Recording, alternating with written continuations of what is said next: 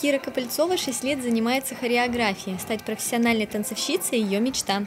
С самого детства она любила двигаться под музыку и просила маму записать ее в танцевальный кружок.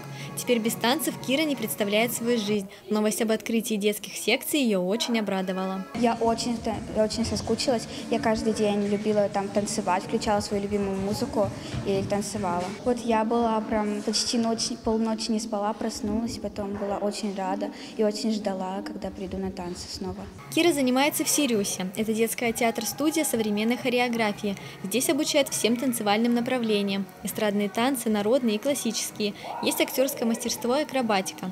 Во время периода самоизоляции ребята продолжали заниматься в режиме онлайн. Включали камеры, созванивались с преподавателем по видеосвязи и танцевали. Занятия проводились три раза в неделю. По растяжке, подкачке и даже по легкой акробатике. Домашняя теснота и плохое качество интернета ребят не останавливали. Но по живым встречам скучали скучал каждый. Наши занятия начинаются, во-первых, с объятий. Мы встречаемся, радуемся, э, спрашиваем, как у нас настроение, потом идет занятие. Вот. У нас очень дружный коллектив, поэтому для нас пять месяцев расставания, даже дистанционка, это тоже было все-таки расставание, это было очень тяжело пережить. Поэтому хорошо, что все началось, хорошо, что мы встретились, мы очень счастливы.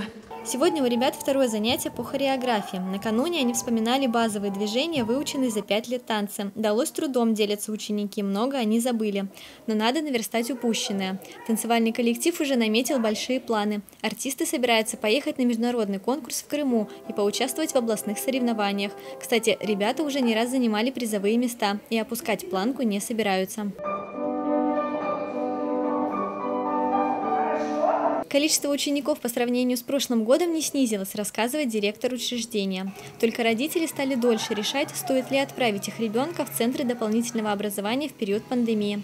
Чтобы дети могли творить без угрозы их здоровью, в Череповецком доме творчества имени Алексеевой ввели все необходимые меры безопасности. В учреждении установлены рециркуляторы, э, на входе установлен дозатор для того, чтобы можно было обработать руки, э, Проводится влажная уборка с применением дезинфицирующих средств, э, проветривание помещения обязательно между проведением между занятиями.